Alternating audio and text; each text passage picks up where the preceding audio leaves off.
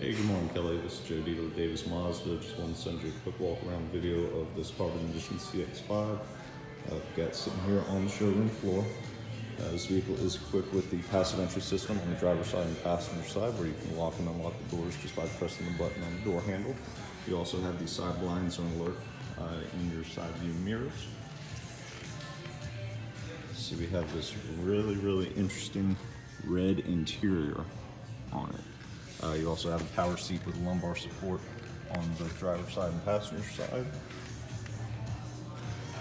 Coming into the second row, you see you have your USB ports for passengers, as well as AC vents back here. Lots of room in the back. Uh, these seats will fold down completely flat. There's a couple handles here that actually release the seats. And then you have a little bit of storage underneath here with your compact spare tire too. This does come equipped with the power lift gate, as well as your backup camera and rear parking sensors. So coming up here to the front, memory seating for uh, driver number one, driver number two, and then premium Bose audio, so really nice audio system as well.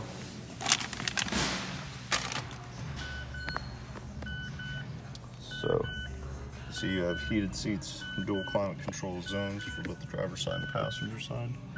Uh, you also have the display up here. This is where your backup camera is going to pop up at.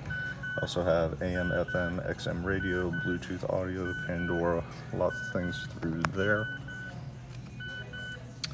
Um, I'm not going to start it up because it's in the showroom, but uh, over here on the right is your driver information center. That'll give you basically anything you would need to know immediately about the vehicle all available right through there. And then with some of our safety systems here, like our lane departure warning, lane keep assist, and then this is going to be for the powered lift gate in the rear.